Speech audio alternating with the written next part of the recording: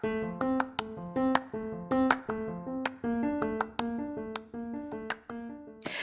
there, and welcome to the daily podcast where wisdom smacks us with kisses or love taps. I'm Michelle Spiva, a wisdom strengthening coach, your host, and practical priestess of wisdom. Join us daily to gain wisdom and mental strength as we tackle innovative thinking, address emotional and behavioral life traps, and yes, provide you with some practical how to's to wrap it all up. So settle in or crank up the speed 2x, whatever gets your mental processes firing as we dive in. Stay tuned.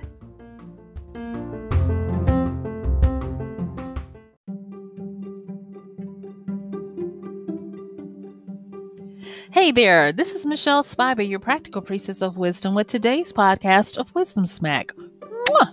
Join me on the flip as we start talking about how to turn all that bad stuff that's happening right now in your life. Yeah, your life.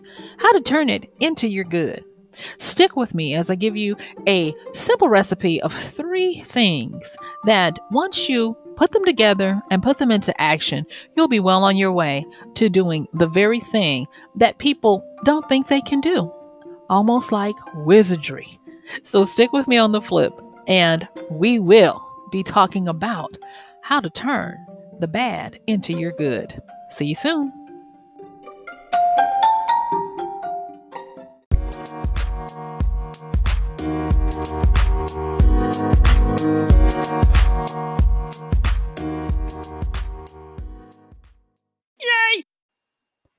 All right, let's go on and get started. Thank you so much for joining me today. And we're going to be talking about turning bad into good. And as if you've been listening to me, first of all, thank you for that. I really appreciate you. I do. Uh, you'll notice that we've been in a kind of like preparation stage over here. I can't speak for other folks, but my tribe, we are preparing, uh, coming out of a chaotic time and into new beginnings with new rules, new orders. And so, because of that, wisdom has had us on a path to get ready. So, if you have been keeping up with us, um, we have talked about uh, such things as uh, waking up out of the lull and stopping mental thievery. We've we've talked about how to overcome uh, our dopamine addictions to start refocusing. We've talked about mental fog and dullness. We've uh, talked about escaping the land of, uh, of alchemy. No, not that one, of apathy. And how, if you don't, then the byproducts of that uh, have to do with mental atrophy, meaning if you don't use it, you lose it. And then we then talked about activating the power of unlearning, unlearning those things that no longer serve us, those things that are just taking up space. They're like in your temp files of your computer, slowing everything down. And then we moved on to how to activate your authenticity because that is what's required now. No more can you wear the mask and the facades. You, you must be authentic. And then yesterday, we talked about how to start making the buck truly stop here and being your own self regulator uh, because you're not always guaranteed for there to be someone around telling you what to do or telling you that everything is going to be fine or even fighting for your be- on your behalf. Uh, multiple nations are going through turmoil right now, and so it is up to us individually to take over the reins of making sure that we can provide for and take care of ourselves. And so today we are continuing with this wonderful, because I can't take credit for it, uh, this wonderful preparatory curriculum, if you will, that wisdom has us in, to where now she wants us to be mindful to learn how to flip it and reverse it. Let me let me stop. Shout out to Missy Elliott. But she wants us to learn how to turn bad into good. And I'm just going to say it. Before you get to the good, there's going to be a lot of stuff that doesn't feel so good, doesn't look so good, and can just straight up be classified as bad that you're going to encounter, that we're going to encounter. It's roughest before the dawn, but it's only as rough as it has to be and no more if you learn this power of transmutation, of alchemy, if you will, of flipping and reversing and, and upgrading things that were maybe meant for your bad. You were able to turn them into your good and so on. So, today, what we're going to be talking about is we're going to be talking about some elements that, you know, you might be like, oh, I don't know, but hear me out, hear me out. Uh, because if you can grasp on them in the way you can use them, they will show up to help you. So, the first thing I want to say is this that in dealing with the bad, dealing with the bad is not necessarily uh, life ending bad as much as it is unexpected now yes it can it can hopefully it doesn't but it can you know uh, include that but dealing with the unexpected dealing with the more um the morose of of of everyday living uh dealing with where everybody is saying the sky is falling everything is doom and gloom but learning how to turn it into your good. I did um few podcasts. uh, I did a podcast a while ago that talked about serendipity and how much I love that word. And it's unexpected delights as you go along your journey or your way.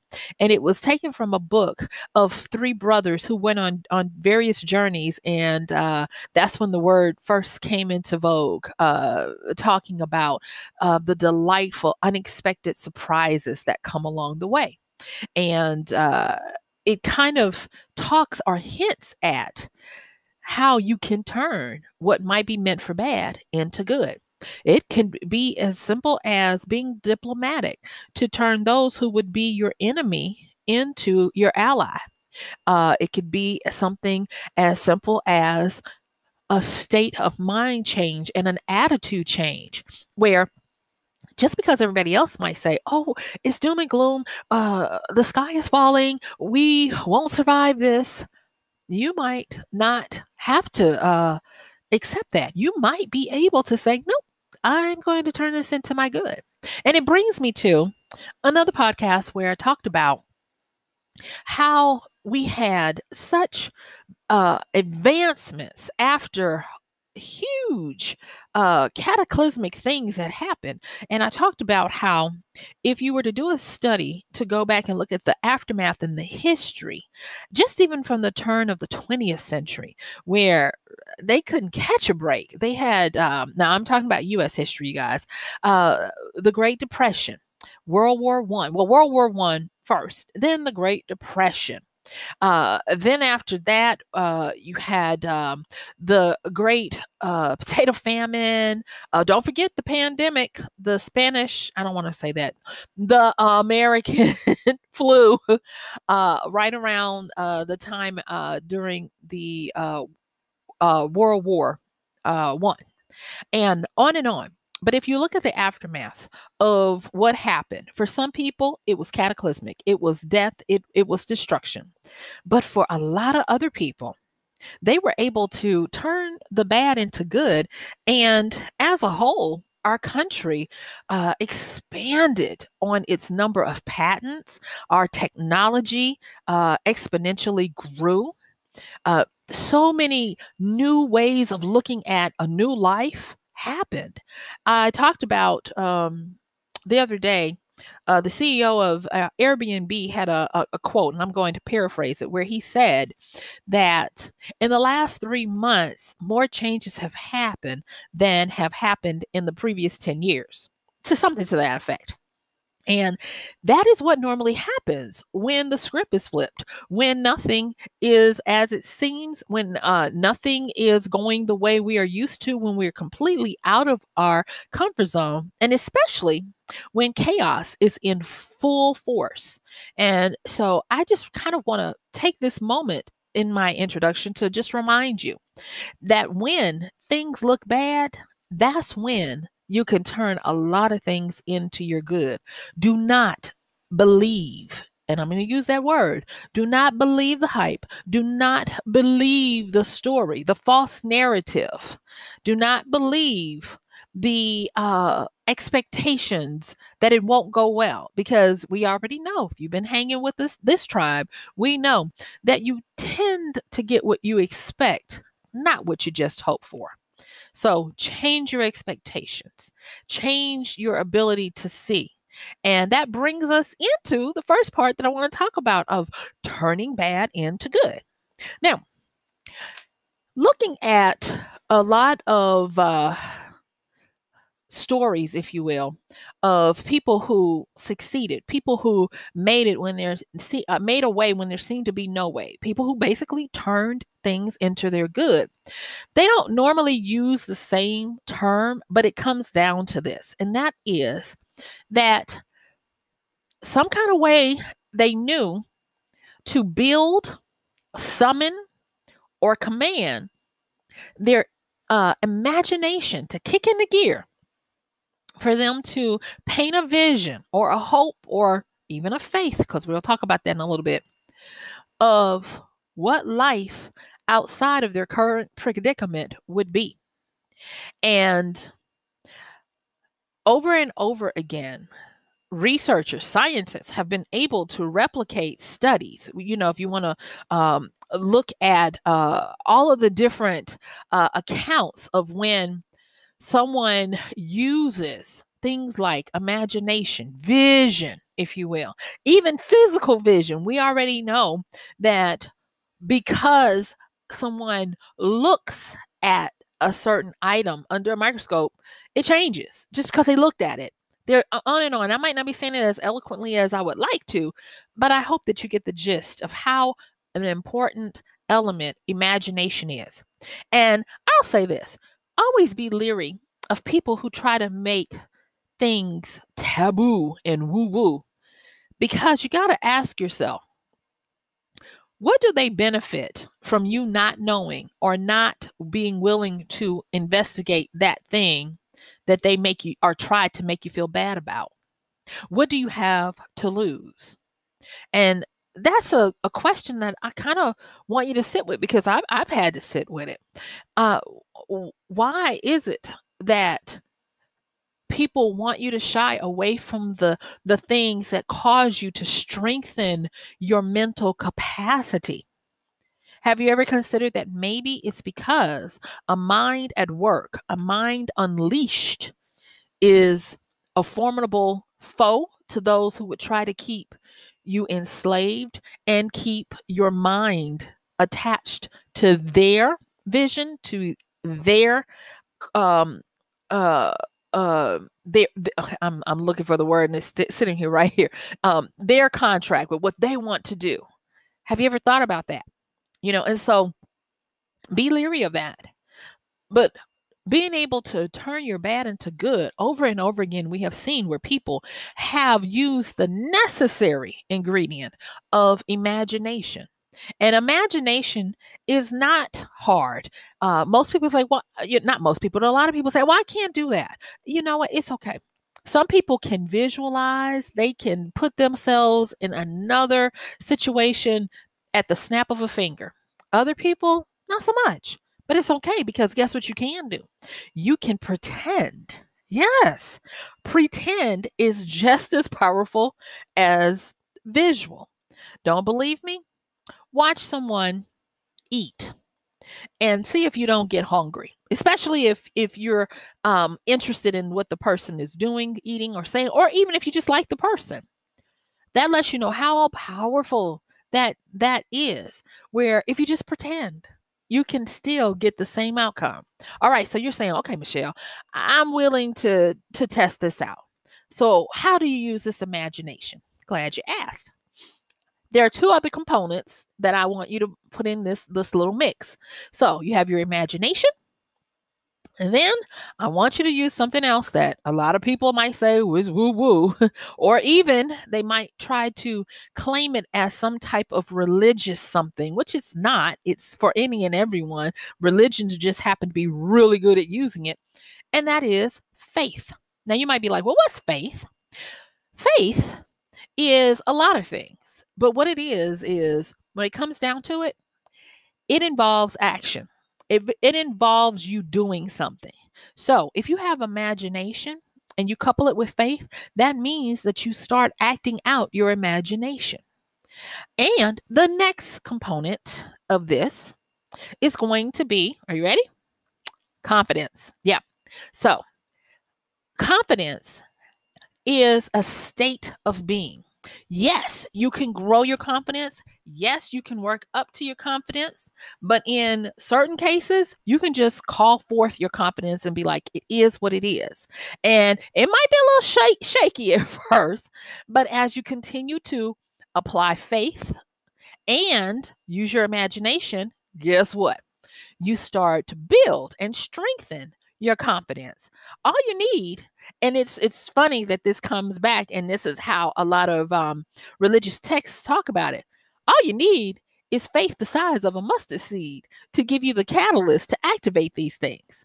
So when you're using your imagination, and when you're employing that with the uh, grounding of confidence and using some faith, oh my goodness, you start to, are you ready? You start to open up the possibilities of opportunities.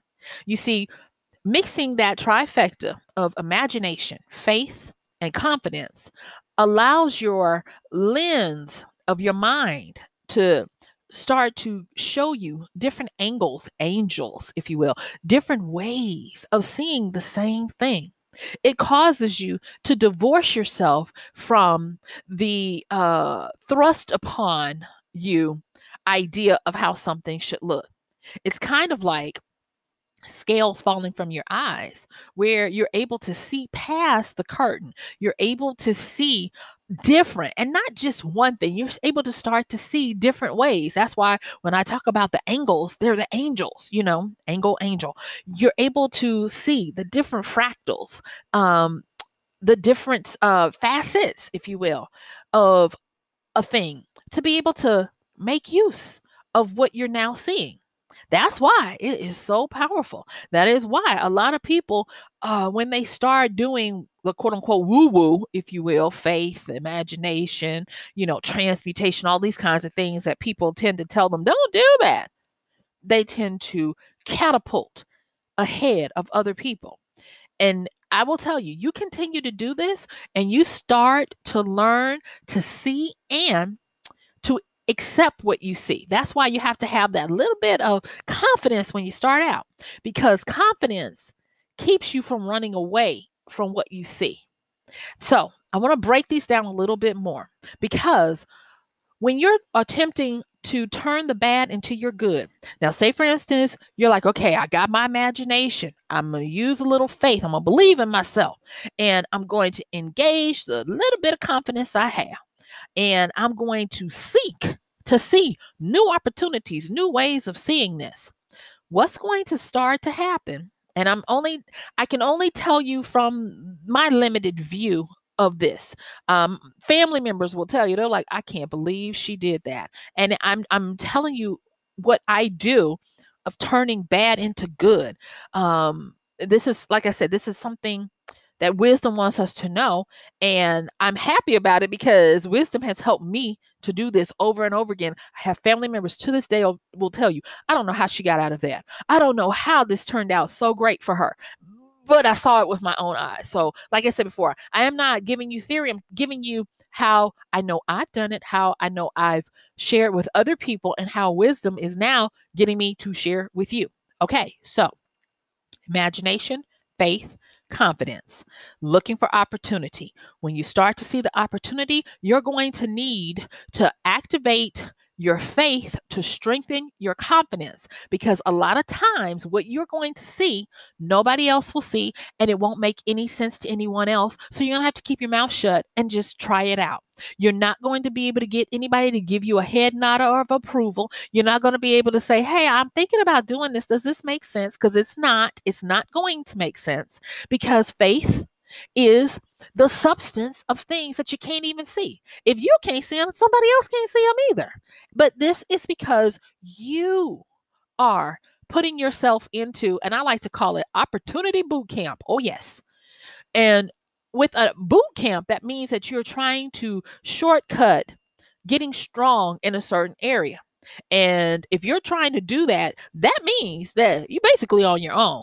Your friends, your family, they're not on that journey with you. You've got to trust yourself. That's why your confidence is a little bit of the components that you're going to need. That's why you got to have faith. And that's why you have to have a, a, a, whole bunch of imagination to get you through this.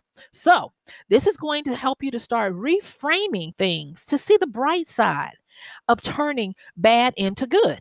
You're going to get to the point where and and I oh when this happens for you guys, please write me. Uh drop me a note. Let me know that it happened for you. You're going to get to the point where people are going to start telling you, you can't do that. That's just not done. And what's going to end up happening as you continue to work through this opportunity boot camp? Two things. You're going to start to realize that nothing is as it seems at first glance. Nothing is as it seems at first glance, which means that that is code for you will learn to respect what you go through. You see, the very essence of the word respect means to look again with more scrutiny so that you can accept the qualities of what's really there. It means to look deeply into again. Don't gloss over. So, as you're working through your opportunity boot camp, as you're looking at different angles, you're going to be able to see different loopholes. And so, the other thing about what will happen so, the first thing that's going to start to happen, of course, is, you know, like I said before, you're going to start um, to be able to see that things are never as they first seem. The next thing is is your question game is going to get on point. You are going to get to the point where you're able to ask higher vibrational questions. Yeah, I use that word, meaning that you're going to be able to ask the right questions that unlock and get other answers for you. I've talked about the hidden door in a few podcasts before, and this is that realm of the hidden door. This is that realm where millions of people will go in a certain a hallway if you will just you know figuratively and they won't it will just be a hallway but because you are on this path you are engaging in um opportunity boot camp where you're you're using your imagination your faith and your confidence you're going to see not a hallway but you're going to see a hall full of doors to different ways. And they won't they'll be possibly standing right next to you and they won't be able to see it access it or even know about it. So it's going to be a singular journey. I wish i could tell you that it's not but hopefully as you continue to grow and maybe you know you and your partner your significant other your kids your family or whatever you'll all be able to grow together. But the next thing that happens, and I need to hurry up because I got to tell you a few more things. The next thing is that you're going to notice. So the first thing is things are not going to seem look like as they did when you first looked at stuff. Things will totally look different. The next thing is is you will be able to see uh, uh be able to uh, ask different questions that unlock hidden doors that you didn't know were there before because they're only able to be unlocked with the right key. And the right key is usually going to be knowing the right questions to ask the right people to give you access. And then after that, now are you ready for this? Remember, I said turning bad into good is you got to flip it, then reverse it. Y'all, that's alchemy. That means that what's normally going to happen is you're going to learn how to reverse the course and the curse, if you will, of the bad and then you're going to be able to attune it to a favorable polarity. All right, I know that might sound gobbledygook. Stay with me, beloved. Stay with me. We're getting there. I promise we are.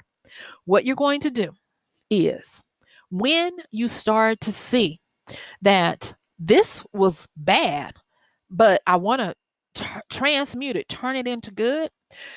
Once you get access to these different doors. And when I talk about doors, I'm not talking about physical doors. I'm talking about different angles, different paths, different favors, different opportunities. All of this stuff is the same. you're going to start to see that there are ways for you to reverse the course of what was happening. And what will happen is you will start to learn how to reverse that course of the bad by changing the polarity of it. And that polarity, what that simply means is it means that you will be able to stop the forward movement of how it would have gone. Say, for instance, you need to figure out how to keep a roof over your head and you don't know where you're going to get the monies, right? Doing this, employing your imagination, your faith, and your confidence, looking for different opportunities, and then asking the right questions because faith is going to activate you to get out of your fear and go talk to someone, go look for resources. You will then be led to people that you're going to ask different questions. And because you're learning to ask, ask different questions, you're going to unlock doors that other people didn't know about, favors that other people didn't know were available because they're only available to people on a certain level. And what will then happen is you will start to see where, oh my goodness, you can reverse this. You can stop the bad. Some people get very diplomatic to uh to get others to help them to stop the course of what was happening. Others, they get really good at like I said, attuning polarity, meaning that they truncate, stop, make it a short so that what was going to happen that was meant for their good, they stop it at that point and they immediately push it to go back to the other way of good. See, that's the kind of stuff that's happening. That wisdom is like, I need y'all to trust me. I need you to work through this. I need you to move forward. And so understanding that in your life, there are pendulum swings in the energies that come.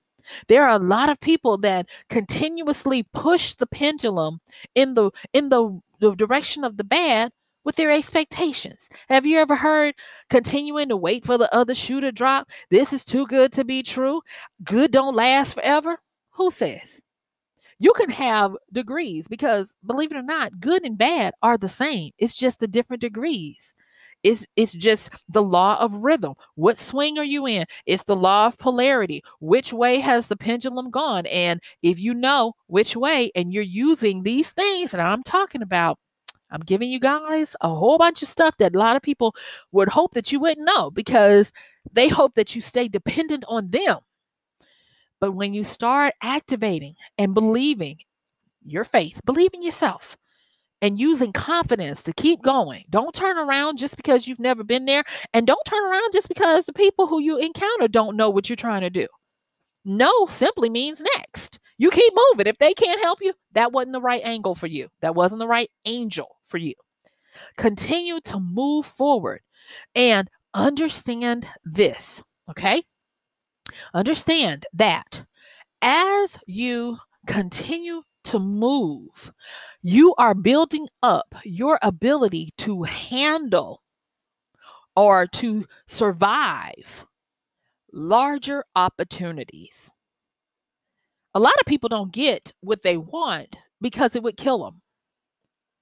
You have to earn, learn, and grow into the opportunities there are some people who have unknowingly put themselves in the predicament where the bad continues to ravage them because they refuse to do this very thing we're talking about. They refuse to lo- use a little bit of imagination coupled with a, a, a, a bit of faith the size of a mustard seed and and grasp on to that little bit of confidence that they can drum up just to make one step outside of where they think they have to be. Now, this is the wisdom smack of turning bad into good. As soon as you see the bars, destroy them. I'm going to say that again. As soon as you see the bars, B A R S, destroy them. Whenever you are on the polarity of the bad, the negative, the things that don't do you any good, the things that cause you unnecessary suffering. Because not all things that you think are bad are bad. I just want to say that. But the moment you see the bars, the the burglar, not the burglar bars, but the the cage, the bars, whatever it is, destroy them. And the way to destroy them is to elevate your thinking. And when I say your thinking, arrest any narratives, any stories that you are telling yourself or allowing to run on autoplay and loop in your mind. I'm talking about those stories of unworthiness where, oh, I don't know enough. I don't have this degree. I don't have that certification. They won't let me. All of that. I'm talking about, woe is me. Nobody has it as hard as me. Why can't I be like other people? Why is it so easy for them and not for me? I'm talking about, well, why do I bother anyway? It's just going to happen again. I'm so tired of this over and over again. I mean, I, you know, and I'm talking about, well, um, I need it to be perfect. I need it to be where um if if I just take a little more time to get a little more ready, then I'll be ready. No, Get rid of all of that. And when you start arresting all of those thoughts, and some of you might not have all of those, but for the ones you do, arrest them, get rid of them, demolish them. You will then start to see that at will, you will be able to take the things that come to you that are meant for your bad and turn them into your good. And you will get better at it and faster at it. And you will get to the point where people will look at you and think that you are a wizard. Because do you know what a wizard is? A wizard is simply a wise person who understands, obeys, and listens to wisdom and takes the uh, initiative to put into action what wisdom is showing us. So I challenge you today Start. If you got to start little, start turning the bad into your good. All right. So guess what, y'all? Yeah, my time is up. I thank you for yours. This has been Michelle Spiva, your practical priestess of wisdom, with today's podcast of Wisdom Smack. Mwah. Don't forget to like, share, and subscribe, and I'll talk to you soon. Bye.